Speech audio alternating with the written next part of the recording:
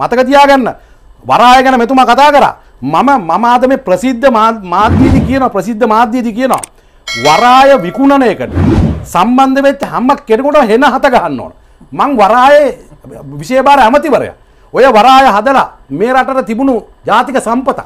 මේ රටේ ජාතික සම්පතක් වරාය විකුණපු වෙලේ අපි ගියාම පොඩක් විනාඩියක් එතන මෑටත් ගහන්නවද එහෙන නෑ මෙතුමා වරාය වරාය ඉන්න වරාය ඉන්න වරාය කැබිනට් එකේ හිටියානේ කැබිනට් එකේ හිටියා. හරි එහෙනම් දැන් මේ පොඩක් ඉන්න. කලින් කිව්වනේ ඔයාම ඉන්න. කිව්වා පොඩක් ඉන්න. ජනාධිපතිවරව බේරලා කැබිනට් එක එහෙම වෙනස් ඉන්න. බෑ කැබිනට් එක ජනාධිපති ඔව්. ඔක්කොම ගන්න. ඕනේ ඒ කියන්නේ හෙන ගහන්න ඕනේ මෛත්‍රීපාල සිරිසේන ඉන්න. මහත්තයාට හරි, මහින්ද සමරසිංහ ඉන්න, ඉන්න.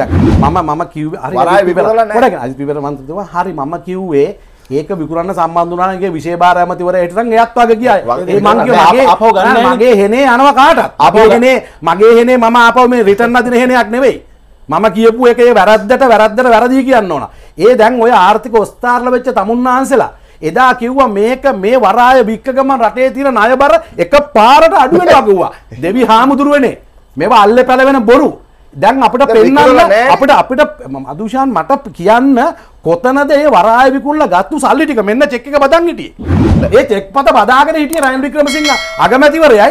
ඒ ආණ්ඩුවේ හිටපු ඒ වෙලාවේ හිටපු ඇමතිවරු ඔක්කොම බදාගෙන හිටියේ. ඒ බදාගෙන